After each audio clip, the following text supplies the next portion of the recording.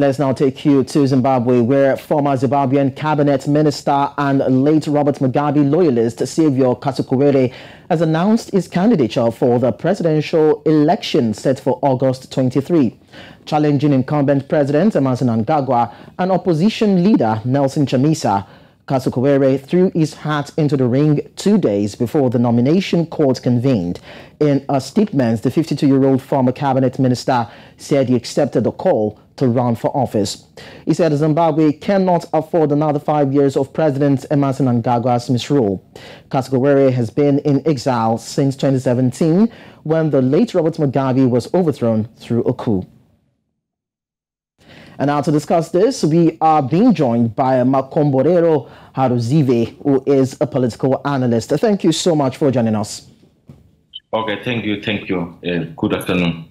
All right, so uh, how does the return of Saviour Kasukuwere impact the current political landscape in Zimbabwe? Mostly, I think uh, the reality, something which is, uh, in terms of empirical evidence, will be seen uh, with the manner in which the ruling party treats him when he lands into Zimbabwe, when he lands into Harare for his campaigns.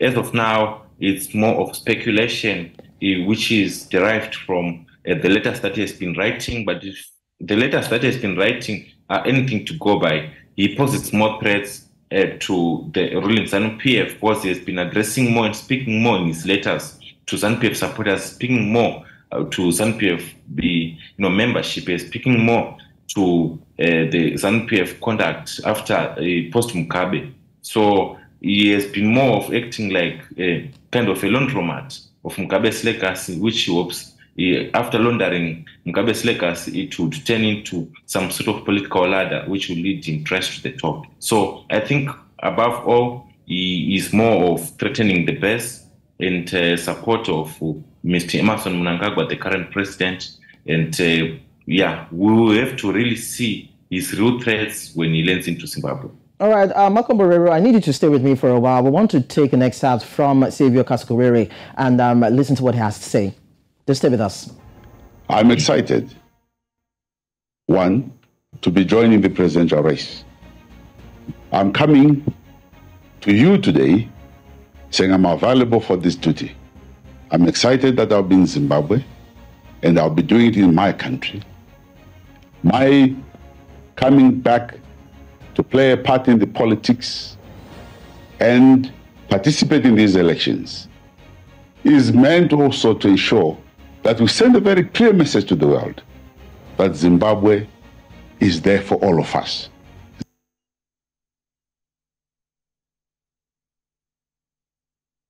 All right, that is Saviour, presidential candidate vying for the presidential seat in Zimbabwe, talking there. Well, you listen to him, uh, Makomborero. Uh, what do you think of his um, nuances and his body language? Because some people say that he seems to be there just to cash in on emotions of people and not really to add any dynamics to Zimbabwean politics. What do you think?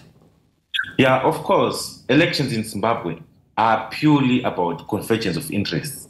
You discover, if you analyze elections back then, from 2018, 2013, and previously, they are always about convergence of interests. So now going into 2023 elections, which are there in just over 60 days' time, um, you discover that here he is, you know, playing as a, a, political tactician who wants to make sure that he knows that ZANU-PF is highly unpopular, of which um, millions of Zimbabweans have grievances economically, inflation is at a record high, corruption, also the gold mafia is humiliating. It you know doesn't make sense. It's like we, we have a mafia instead of a government.